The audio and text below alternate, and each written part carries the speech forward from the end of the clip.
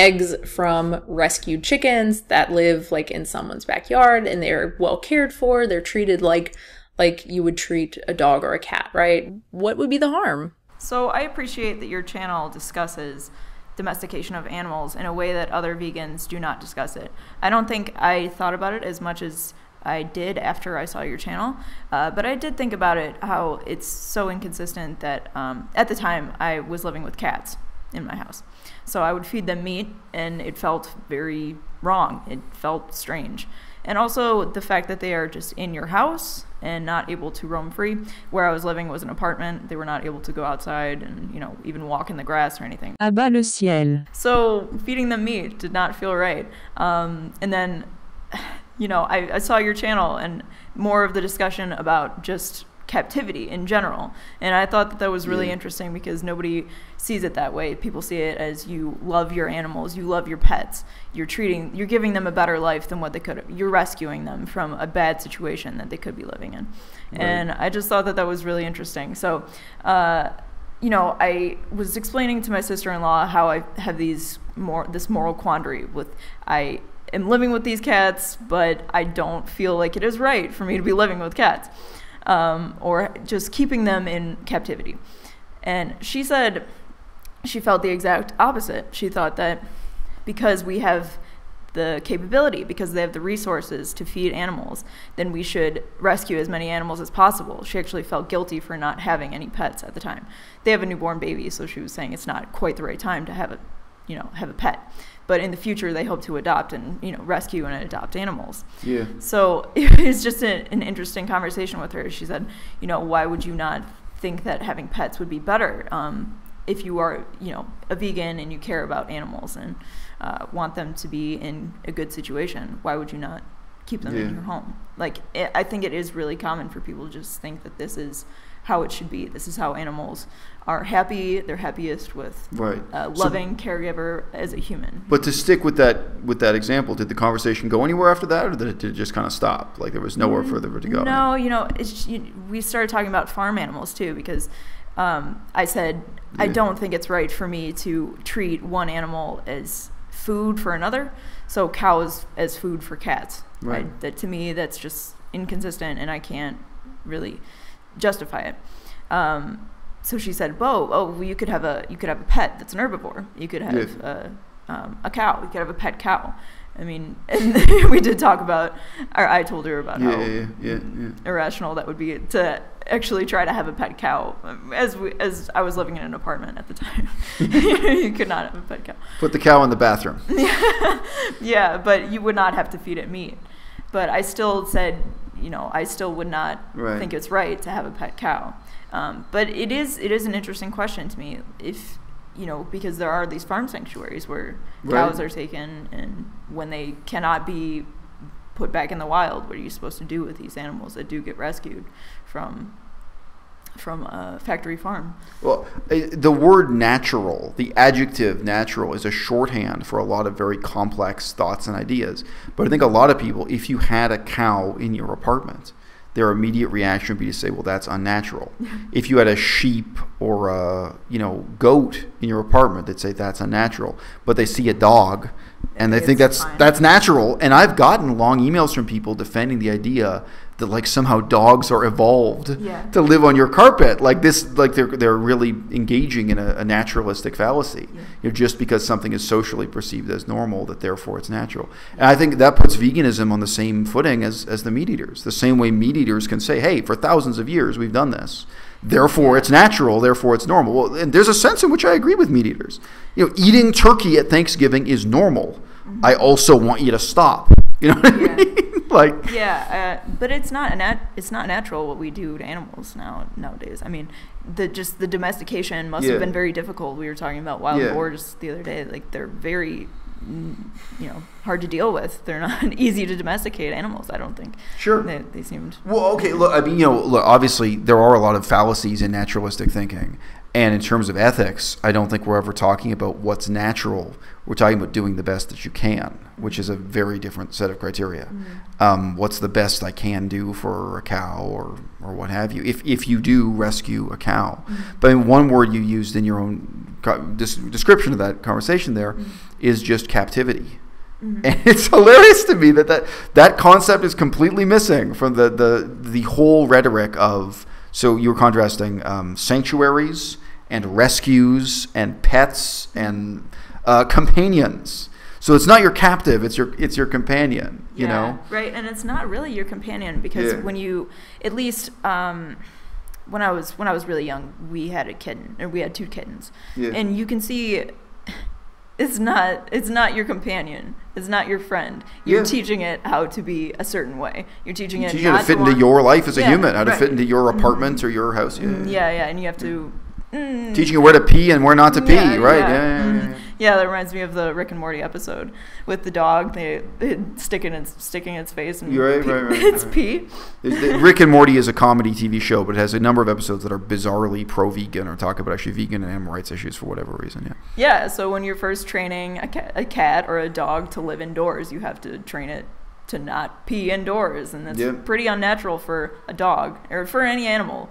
You know, it's unnatural for It's unnatural for a zebra. Yeah. I don't, I don't know if I can get the zebra to live in my apartment. Right? Yeah, yeah, yeah. yeah. So you have to train a dog, and I don't think that you would train a companion. Ideally, you would not train your friend to be your friend. Yeah. Um, So I mean, this up. Unnatural Vegan. We can cut in the the clips here. She has this line of argument where she says keeping a dog as a pet is just as moral as keeping a hen, a, a mm-hmm. chicken, as a pet and eating its eggs. and and love it like a dog, like love a Right. backyard hen like your dog. Right. So her whole line of reasoning is it is morally acceptable to keep a dog in captivity mm-hmm. in perpetuity until it dies, to castrate it. She's argued at length that castrating a dog is not causing it any suffering. How you define suffering that way, I have no idea. There's a lot of mental and moral gymnastics going on here. But taking domesticated animals as her standard, domesticated the most familiar domesticated animals, namely dogs and cats, she then extends that to slightly less familiar animals like chickens and says, therefore, it's perfectly fine to keep a, a chicken in captivity. And she does this, it's a mode of reasoning I don't have a name for, by basically saying, hypothetically, if you were in the chicken's position, how would you feel? Now, that's, you could call it sympathetic reasoning. How, how would I feel if I were in the chicken's position? And I mean, sometimes that's a useful mode of thought, and sometimes it can be profoundly misleading. So she offers the argument in isolation. If she were the chicken, she wouldn't care that these, you know, hairless biped apes were eating her period secretions, eating her, her eggs, just so long as those hairless apes were loving toward her and so on. I, I find this a really tortuous and impossible to impossible to defend uh, line of reasoning. And no, you can ask yourself if you were being held captive, because that's what we're talking about here. We're talking about captivity. It can be a cage. It can be cageless. It can be free. It can be a you know a wooden hut in your backyard. You're talking about holding a hen in captivity, mm-hmm. and the nature of the captivity can't be understood by contrasting it to the f- more familiar captivity we keep dogs and cats in, which is the line of reasoning she's making. You have to contrast it to how that animal would live in the wild. Mm-hmm. What would be the natural behaviors of a chicken in the wild?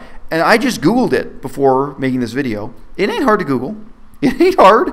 You can you can look up what do wild chickens look like? How do they live? How do jungle fowl exist in the jungles of Indonesia or Cambodia for that matter, other places I'm more familiar with. But you know, how do they live? What are the behaviors? I have seen them running around. You know, they they they run around and catch uh, small insects like crickets, which can be quite inspiring to see. It's quite an elegant set of predatory behaviors they have. I've seen them in the jungle defending their own chicks. You know, if they feel you're too close to them, you get the, the mother hen walking with the line of chicks behind her, which is quite quite a striking sight. And you know, still to this day, the fighting cock, the fighting chicken, is the, the national symbol of France. They're known for being quite proud, um, pugnacious, confident birds. Little birds that'll they're birds that'll start a fight with a fully grown human, kind of thing. Same with turkeys. Turkeys are like that too. Where they'll kind of be territorial and they won't they won't behave as if they're afraid of you. Ironically, we use the word chicken to mean coward in English today, but they were known for their, their bravery, and of course they're known for fighting one another, having these complex social behaviors. Uh, they have complex mating behaviors where the males offer food to the females and males fight other males to show who's the better mate and so on.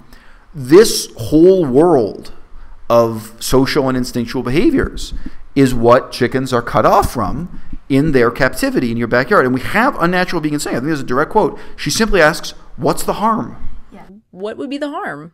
What's the harm of having of having a, a chicken in a cage? And I, I, mean, again, I think she's really engaging in sophistry in the truest sense, in the ancient Greek sense of sophistry. It's a it, this is a misleading argument to say, well, if we're not harming a dog by doing this to a dog, therefore we're also not harming a chicken by doing this to a chicken. And in a, in a sense, I agree because I think we are harming the dog. We're harming a dog to cut its testicles off, mm-hmm. uh, and we're harming a chicken to give it this life uh, in captivity.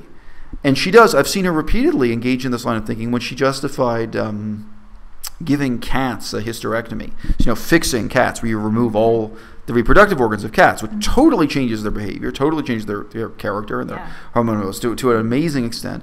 And her line of reasoning was if she was in the cat's position, she would prefer to have this hysterectomy, yeah. but she'd prefer to be fixed rather than to feel sexual desire and not be able, not to, be able to satisfy sexual desires. Yeah.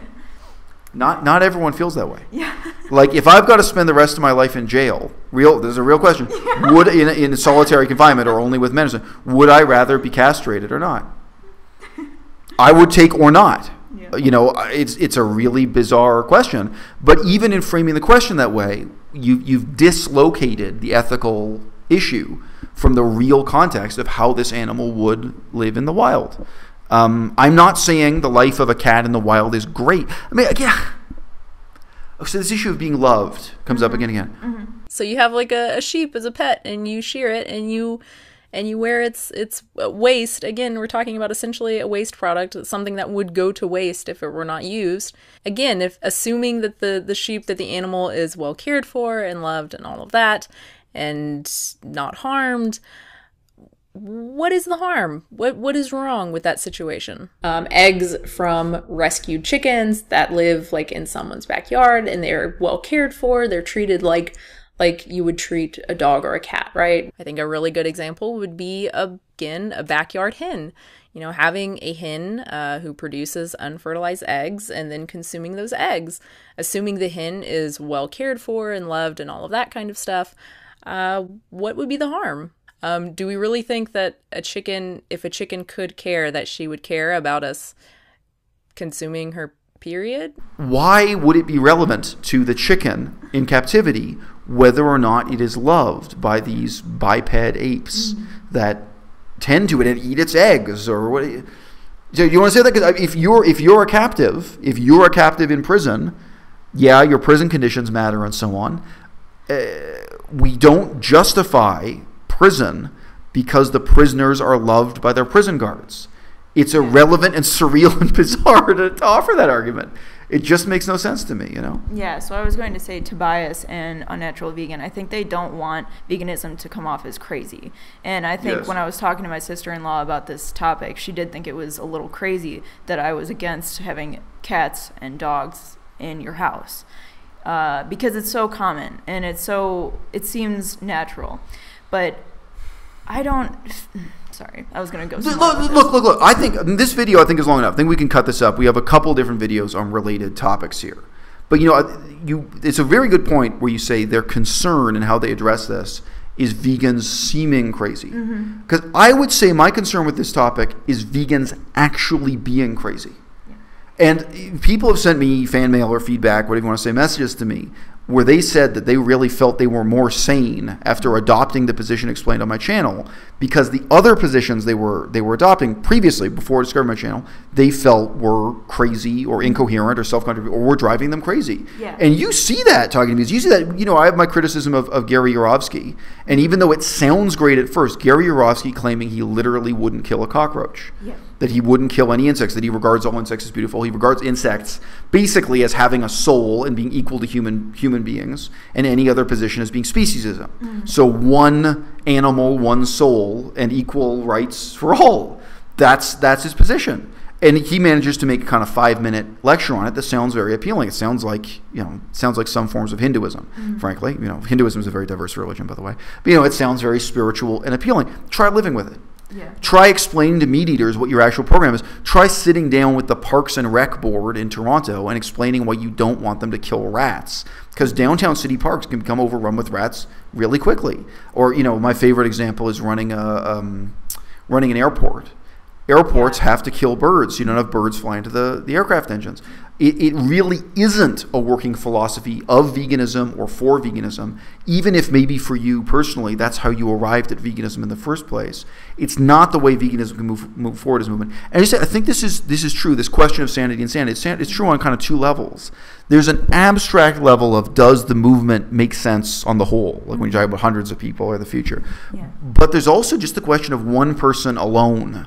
Does this make sense for me when I wake up in the morning? Maybe when I have to kill cockroaches inside my own apartment, when I have to answer questions in my own life. And a lot of the approaches to veganism, I don't really care whether or not they look crazy from the outside. I care about whether or not they are crazy, whether or not they are driving people crazy. Yeah, but I do understand wanting to become wanting veganism to become more approachable. Sure. So when you tell people it's wrong that you have pets, well, you know, cats and dogs they can live. Uh, cats can live like 20 years if they're in Yeah. if they're in domesticity. So I do understand also the other the emotional side to thinking that animals are your companions because once they are kind of whipped into shape you know i'm not saying Sure. that like everybody whips their animals or something but just uh, when you first have an animal as a very small animal like and training them to be your companion at that point they seem like you know it seems like you can look into their eyes and they know who you are they know you know how you're feeling so i do Right. understand um, humans thinking that their animals are their companions and it is a very emotional thing for a lot of people i think Right. so uh, i can see that that um, that part of veganism for the outsider would people would think it was crazy but um, Right. you- okay. you know, right. But look, it I mean, depends on how devoted you are a lot of a lot of technically demanding fields look crazy to an outsider. A lot of things in Mhm. science or physics or what have you. Yeah. But really quick, we can do three contrasting examples: chickens, pigs, and then dogs. And Dogs are the hardest. I'm putting them them 3rd But look, if given half a chance, chickens. Domesticated chickens will revert to living as wild chickens. Mm-hmm. And there's actually concern about this because when they do get a chance, so this is mostly in Southeast Asia where the, the wild jungle fowl is, is native, that they escape from farms and they'll go out and interbreed with. So domesticated chickens will escape into the jungle, they'll interbreed with the wild uh, jungle fowl, mm-hmm. they'll lay eggs together, whatever you want to put this. They'll revert to wild behaviors, they'll go back to, and they're, they're happy to do it. It's what they want to do. They don't want to live in a steel cage. Mm-hmm. Big surprise. You know, this is they're back in a social setting where they interact with other members of their own species, not with a loving bipedal ape that pets them on the head. What the fuck do you think that gesture even means to the species? Chickens don't pat each other on the head.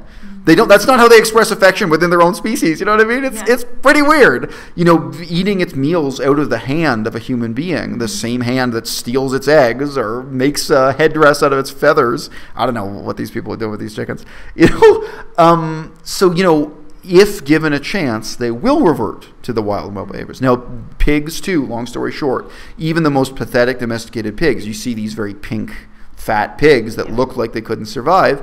Don't kid yourself. All over the world, whether it's Australia or Southeast Asia or the Philippines, feral pigs are so common as to be a menace. It's very, very common that domesticated pigs go feral. That happens in some states in the U.S. too. I forget Virginia. or Some states that still have enough forest cover. You get examples of pigs going out and, and reverting to wild behaviors, domesticated. So that's very clear. And to me, I think we really need to appreciate the gravity of that as vegans and what it means and what indictment it is of the pet-based paradigm. Okay, now you come into dogs. And I think it gets into exactly these kind of precious delusions pet owners have that they look into their dog and they know what their dog wants and their dog understands them. And again, petting the dog on the head and the dog licking your face. I mean, that's, what does that mean within dogs? You know, Jay Costley had a great video talking about that. The actual significance in the wild of dogs licking each other's face is very different from what you might want to believe it is and so on. Yeah, it's actually a sign of submission.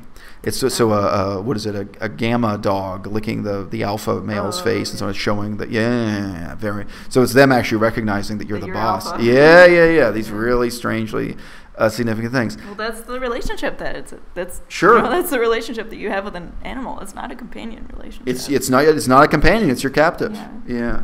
But I, I, I say to face up to it. It, I you think- know, it doesn't feel good once you finally think about it. I way. think the number one response I get on the issue of dogs is, well, I can't just reintroduce my dog Yeah. to the forest, right? Mm-hmm. I- I- okay, now, even if that's true, is that the point? Obviously, we have so many pigs. The number of pigs is in the billions on this planet.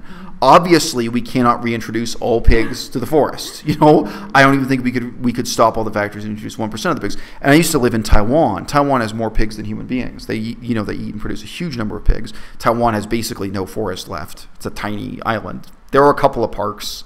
You know, there are a couple of habitat preserves, but there's no way you're going to liberate the pigs out of the factory farms into the forest. So, I mean, uh, uh, I understand your point, mm. but do you understand mine? Mm. Do you understand the point that this pig in a cage on a factory farm does not in its heart yearn to be your pet on the mm-hmm. carpet? And doesn't yearn to be liberated into a sanctuary that is in many ways just a farm minus the slaughterhouse. It's just a farm that goes on forever and ever. It's just perpetuating its captivity, but it's the same conditions you get on a farm, on some farms. It's obviously slightly better than the, than the worst farms. You know, really to understand this species. And again, see, in a sense, I think that the concept of animal rights is already misleading. I can't say this pig has a right to live in the forest. I'm just saying we have to understand and think about this pig in that context of what its life would be in the wild, what it is being deprived of.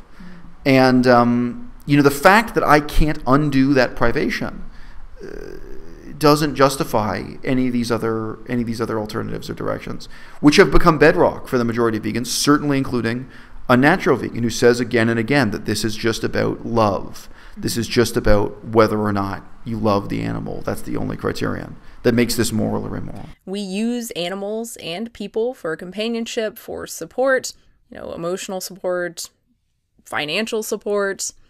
We don't consider these practices exploitative or abusive. When we say that using a chicken for her eggs in every situation is abusive, even if she has a loving home with food and water and shelter and was rescued from imminent death, it sends a really confusing message. We're talking about something that very clearly does not do any harm to the animal, and yet it's wrong.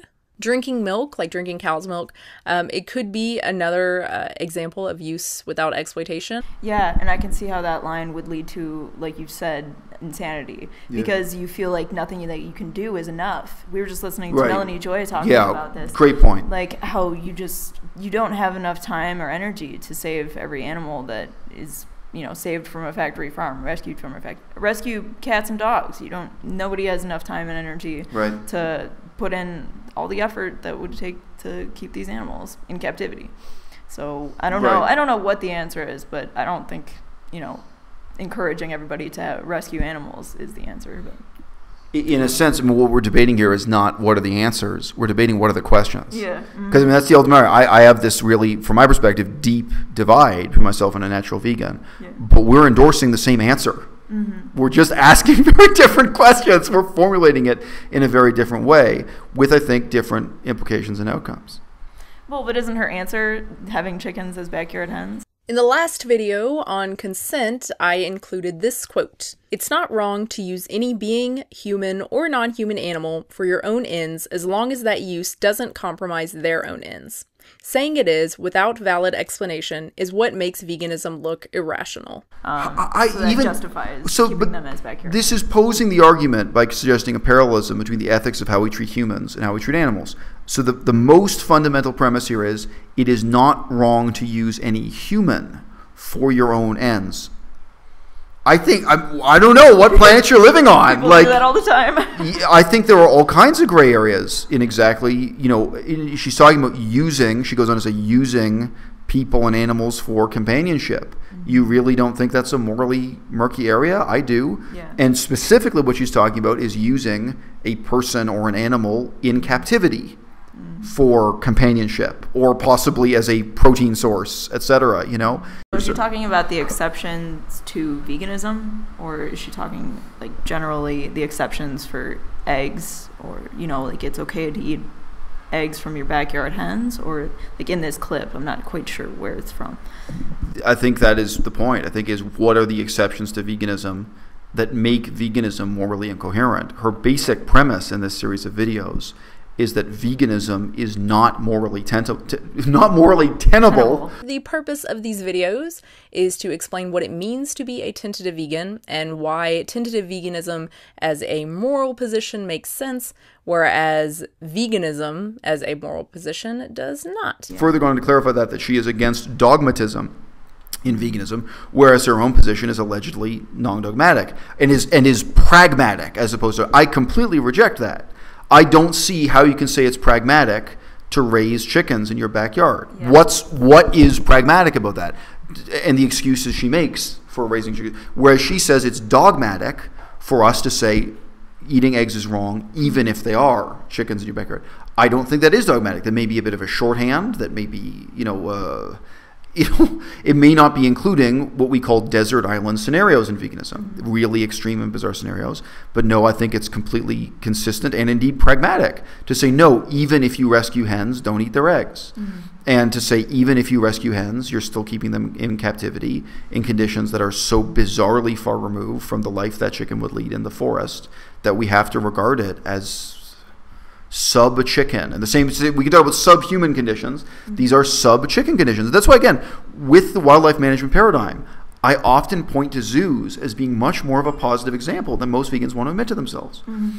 A zoo that really makes an effort to give penguins habitat that resembles their wild habitat. Of course, it's not perfect. It's not actually Antarctica. They don't actually have free room to range. I've been in zoo enclosures that tried to give birds free, you know, it ultimately had a dome on yeah. the top, but gave them enough space that they could fly around a bit. Mm-hmm. You know, uh, I've seen that also with butterflies, a butterfly yeah, enclosure. Really bizarre. It's a little bit surreal. So it's a simulated environment. Those, I think, are the questions. If for any reason you did have to rescue animals and keep them in captivity, which certainly happens with endangered species, unlikely to be the case with the domesticated chicken. Mm-hmm those are the questions I'm asking, or how, how, how closely can you can you come? And instead, she's asking this set of questions that I find really disturbing and misguided. Yeah, I think it's important for us to, to, discuss these things. It doesn't make veganism look irrational. It's trying we're trying to come to a conclusion about what veganism is, or you know what. Just have discussions about these things. It makes veganism more. Uh, I don't know. Just the other day, we were listening to Tobias say that veganism is not there yet to be yeah. for somebody to say someone is at a dinner and the person hosting the dinner makes a casserole that has mayonnaise and you say to the you know you say to the person holding the dinner oh this isn't vegan it has mayonnaise so he says that it's crazy. Right. It's crazy to refuse. He, to says he says this is bad for veganism and it's bad for how vegans are perceived. Yeah. To insist, no, I can't eat this casserole. It's not vegan. Yeah, because veganism isn't there yet. It's yeah. not. It's it's not a movement that people and and yeah, you mentioned like would people say that about being gay? You know, you can't. Right. you would you wouldn't tell your parents that you're gay because we're just not there yet. Like somebody had to at one point say, "Yes, it is it's there. It's there. It, whatever the hell that means. It's it's there yet. Is yeah. it's not there yet? Isn't the valid excuse anymore, yeah. right? Vegans yeah. have to stand up for you know their convictions and what they believe, and I, I don't right. think it's wrong for. Well, know, well, well, well, and, and does it does it make veganism look more or less irrational? Yeah. Like, what's irrational about say no? Yeah, this is the definition. This is the definition of veganism Therefore, eating this casserole is not vegan. Mm-hmm. This is the definition of veganism. Therefore, eating this chicken egg is not vegan. Yes. Why is that irrational, or why does that make veganism look irrational? You know, yeah, yeah. Uh, we can talk about it in a rational or an irrational way, but th- this is really, really basic definition of veganism stuff. Mm-hmm. Yeah, and uh, if if veganism is not there yet, it's never going to get there wherever there is or whatever that means. Yeah. With this kind of excuse making, I just don't see how that's good for the movement. Mm-hmm. And people as well we use animals and people for companionship, for support, you know, emotional support, financial support. We don't consider these practices exploitative or abusive. Okay, so do we use people in captivity? for companionship and emotional support. No. I mean, to me, I think you actually could because I, you know, I used to study Cree and Ojibwe, and we did have stories, you know, apparently completely true stories of human beings who had friendships with wild animals in the forest because they were in the tiny minority of Canadians who actually spend enough time in the forest. Like they just see the same animal again and again over yeah. years, you know. Mm-hmm. Like, oh yeah, that's that otter who lives down in that part of the where they really did know animals and to some extent like interact with animals without domesticating them, without having them in captivity, and where there is a kind of companionship, like you know, there's a kind of kinship, or even. Um, so like with, with things like otters, I think the, the human would be catching fish. We actually cut up the fish and throw some of the fish to the otter. Yeah, yeah, You know, we had this kind of. So I've read stories from Cree and Ojibwe people really living on the trap line, living in the forest, who had those kinds of interactions. Okay, that's one thing. Maybe you can compare that to human companionship, a casual acquaintance, a human being you use in this sense. But if I have a human being, the example she's using, if I have a human being and I keep them in captivity so I can cut off their hair Yeah. and make sweaters out of their hair, what the fuck? What, you know, and you think this makes veganism look less irrational? Say, oh, it's okay when you do it to humans, so it's okay to do it. Pet. It's not okay when you do it to humans. And the, the rationale given it w- would never be applied to human beings being kept in captivity. So you have like a, a sheep as a pet, and you shear it, and you and you wear its its waste. Again, we're talking about essentially a waste product, something that would go to waste if it were not used, and you use it to make I don't know, knit some gloves out of or something. Again, if assuming that the the sheep that the animal is well cared for and loved and all of that, and not harmed. What is the harm? What what is wrong with that situation? And the, the rationale given it w- would never be applied to human beings being kept in captivity, human beings being ca- uh, cut off from their natural surroundings or whatever social situation they would be in if they were not in captivity. I just mentioned that the other day that I was saying if or you know for your for your daughter I don't, I don't want to get too personal but like like you know so for a vegan that doesn't believe in domestic domestication of animals if they have kids Yeah.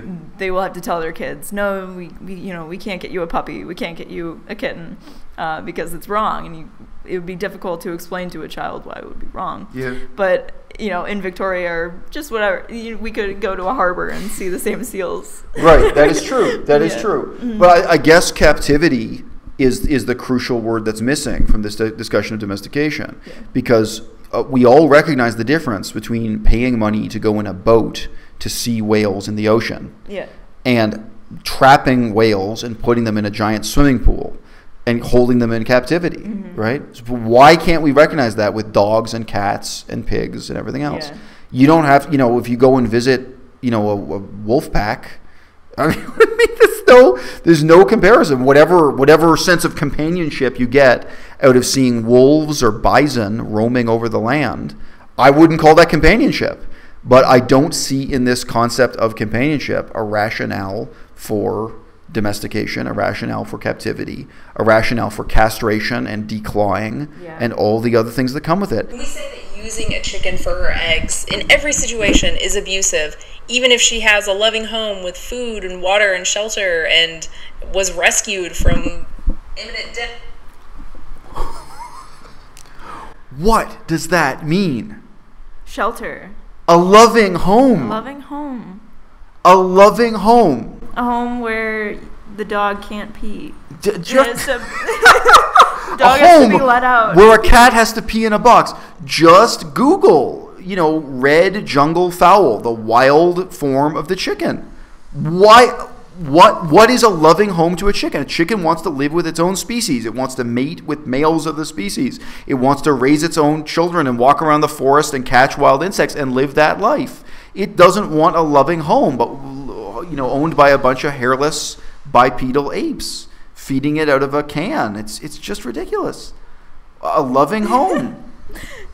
it is it is I but I don't know it's just kind of an emotional reaction. It's an emotional response to say that I, I don't know because because we're used to seeing animals in the house we're used to seeing I, I don't know. A, a loving home, but it's it's a lo- it's a human loving home. Yeah.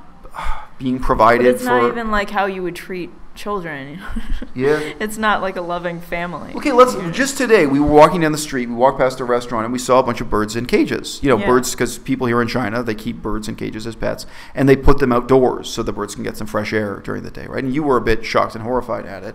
I'm a bit more used to it. Okay, does that bird have a loving home? From a human perspective, maybe the answer is yes because the humans say they love this animal Give and they water, they feed it and bathe it and they bring it to the vet when they get sick. So from a human perspective, that's a loving home. From a bird's perspective, does the bird ever get to fly? yeah Does the bird ever get to build a nest? Does the bird ever get to compete with other members of its species to mate and then mate with other members of its species? Does it get to evade its own predators and maybe prey on other animals? You know, all that range of natural instincts and behaviors. That's what matters, not a loving home. And I don't know, maybe you can look at a bird that has its own nest and say that's a loving home from a bird. You know, in the wild, maybe there is a meaningful sense in which a bird can have a loving home, but it ain't this. It ain't my living room. It's a totally ir- irrelevant set of criteria, whether it's applied to a you know a flying bird or a flightless bird like a chicken or a dog or, or a pig. Uh, but this this to me is a kind of deep sickness. And if your concern, Unnatural Vegan, is with vegans appearing irrational, why can't you recognize what's irrational about this? This to me is insane.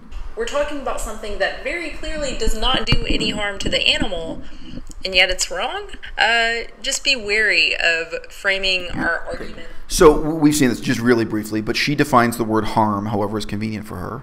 So she says that cutting the testicles off a dog doesn't harm the dog. She said that deadpan serious. So obviously, she, the same way she's willing to define suffering any way that's convenient for her argument, she's willing to define harm eh, in any way that's convenient for his argument. Again, I just have to appeal to please take the time, actually Google what the life of a wild chicken looks like. And ask yourself why it is you're making these excuses for keeping a chicken in a cage, in a hutch, in a backyard pen, whatever it is, and you're not looking at the reality of what life would be like for that animal in the wild. Because depriving them of that life is doing them harm. And I think that's totally easy for us to understand, the same way that you can't say by putting a human being in jail, you're doing them no harm. Even if you put them in jail where they're given food and shelter eh, and a loving warden, you know what I mean? Like, it's just ridiculous to say, well, I'm, I didn't do any harm you're depriving them of another life, a life in the wild or a life in some kind of social standard of what's normal. What Good they would- analogy. Yeah. Mm-hmm. Deer that's dead that you found at the side of the road. Any comment? It will be eaten by other rodents, by vultures. Just leave Sure. it. It's going to decompose. Sure. Don't eat it. What, what about the bears in the forest that might Yeah, you're uh, haul out the them of food. But also, are we such bears? Are we such vultures? Do we actually have no other moral or even aesthetic standards Right. that that make us better than bears and vultures? Because you know, there, I think there are other considerations there. Sure, and you know, why is it that everything's simple is dogmatic in her view? Mm-hmm. Very often, simple guidelines are pragmatic. Yeah. I think, yeah, maybe it is a simplification to say vegans never eat animal flesh because we can come up with a desert island scenario. We can come up with roadkill scenarios. We can come up with some really weird scenarios. Maybe that's it doesn't mean it's dogmatic. Yeah, that's pragmatic. Yeah, sure. You know, then there, there's some fine print. There are some footnotes. But come on, there's nothing dogmatic about that. you know? What about rescuing a cat and keeping it for companionship? The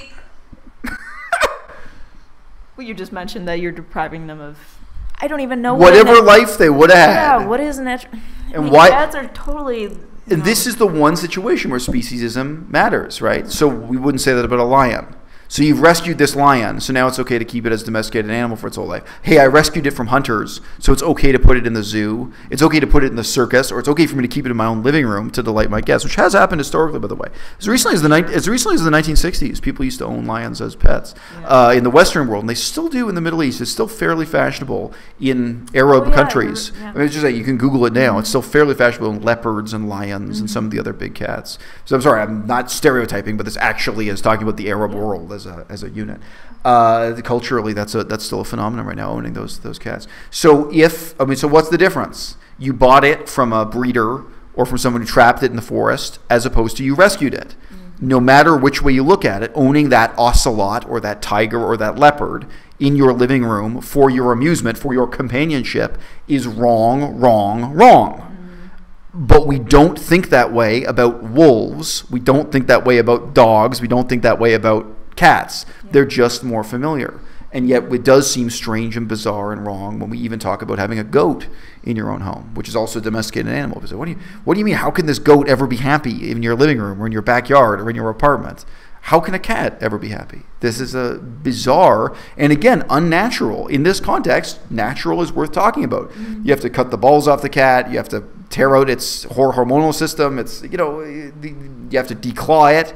You're making all these physical and behavioral modifications to the animal and forcing it to pee in a plastic box. Yeah.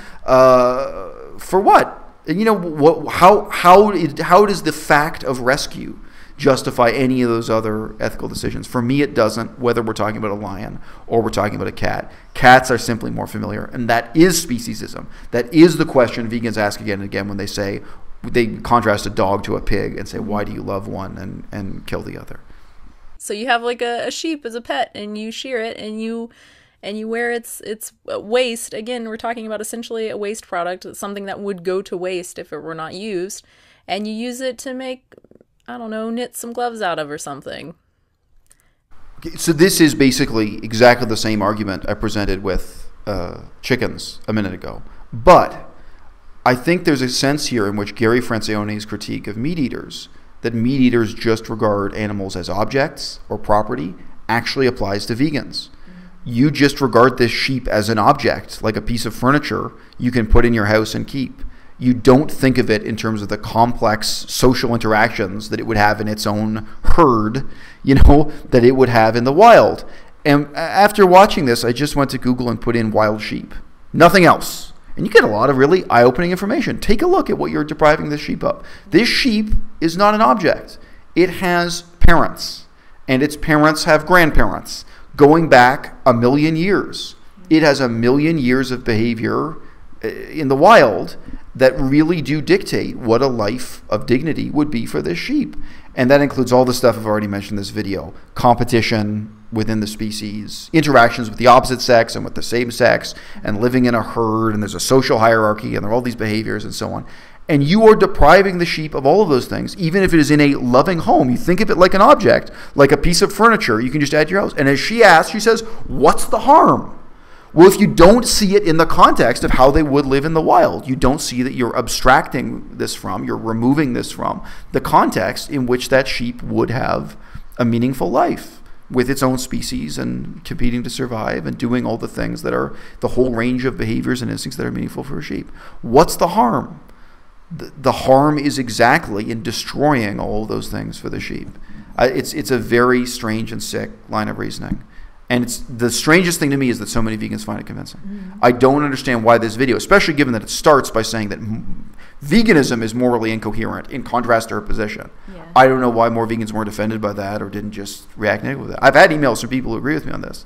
But there's nothing about this that's seductive or appealing or even useful for vegans. So I, I just don't I don't see why there are thousands and tens of thousands of people who within veganism back up this position. To us, to my to my perspective, it only makes our position weaker and worse. Yeah. Oh, but vegan vegan sweaters though. you really you really think there's like a pragmatic outcome here where vegans can start producing wool? because it comes from a loving home. Really? Like, really? Is that what you're driving at? How do you feel about pets? Do you think that there's any difference between, say, having a dog um, or having a, you know, backyard rescued hen and consuming its, its eggs? Do you see any difference between the two? Because I, I do not. Yeah, that's the point. You don't see yeah. the difference. They're both wrong. So. One's bad and the other's evil. Um, I see both relationships as mutually beneficial, assuming that the animals are well cared for. You know, they're receiving food and water and shelter and nurture, and you are receiving companionship and eggs and whatever else. I don't know, maybe you shave your dog and make little hats out of its fur. I don't know. I think the main point is that she's saying it's better than death. So living in a house right. with people is better than death. But, but she doesn't say that. I mean, look, you, yeah. that's a stronger argument. That's not what she says. Because, mm. I mean, when she says this to me, she makes this excuse for companionship, given that you're providing them with food and shelter and water. water. Mm-hmm. So, what's that? Human beings in prison. If you're keeping people in prison indefinitely, I think one of the only justifications for that is, hey, it's better than better death. Than dying. If they were facing a death sentence and given their choice, would you rather be in prison or die? I think most of them, some people would choose the death penalty, but they'll say, okay, they'll take captivity. But no, love does not justify captivity. Not in any way. Now, the type of love that's meaningful for a sheep to experience or for a cow to experience is love within its own species. Mm-hmm. It's not being patted on the head by human beings. It's going to be that sheep competing for its place within the herd. You know, sheep literally butt heads. You know, they have all these mm-hmm. bizarre ritualistic behaviors. And that's what's meaningful and important to sheep. It's not being petted on the head by a by a bipedal, you know, hairless ape. It's, it's totally irrelevant. But if you were taking human beings captive and holding them in prison and saying, well, they provide me with companionship, this whole line of reasoning would seem really sick and demented. Mm-hmm. Although the, the argument you just presented, it's better than death, if the alternative is death, I think that's actually a, a stronger argument.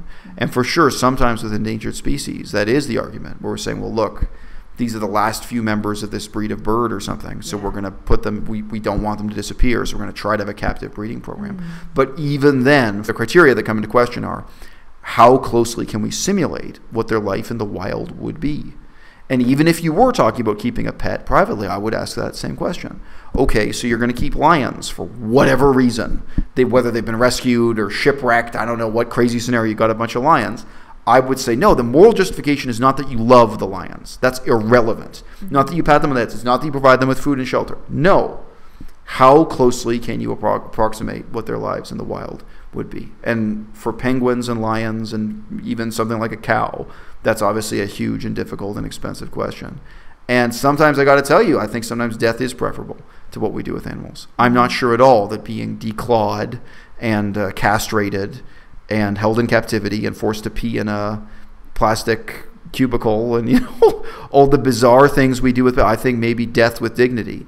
I think that a short life in the wild as a feral dog or a feral cat might in many ways be better than what it is that she has taken as the moral baseline for how we should treat animals, for what she thinks is right and good for, for treating not only dogs and cats, but all other animals, apparently, including sheep, so that you can knit a hat out of their hair.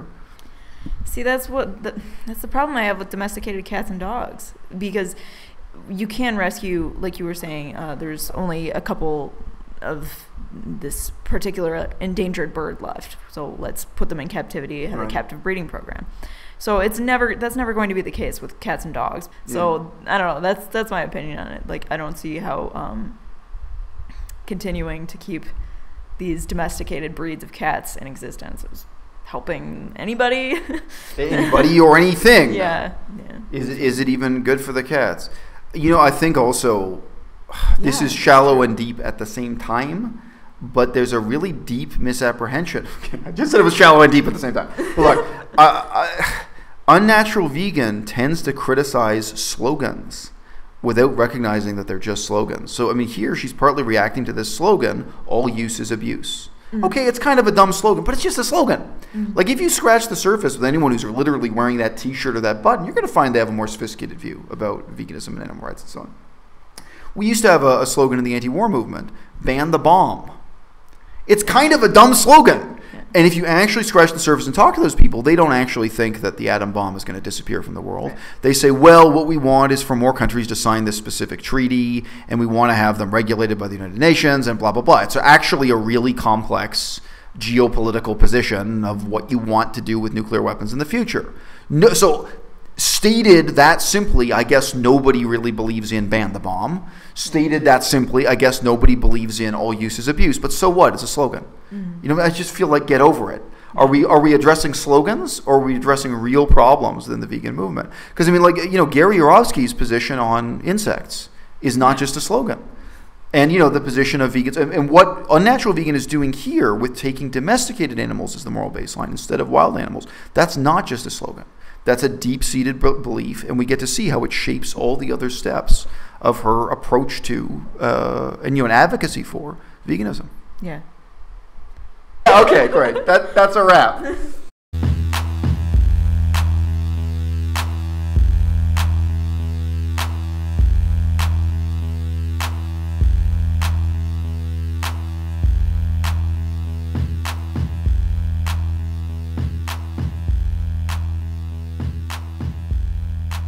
À bas le ciel.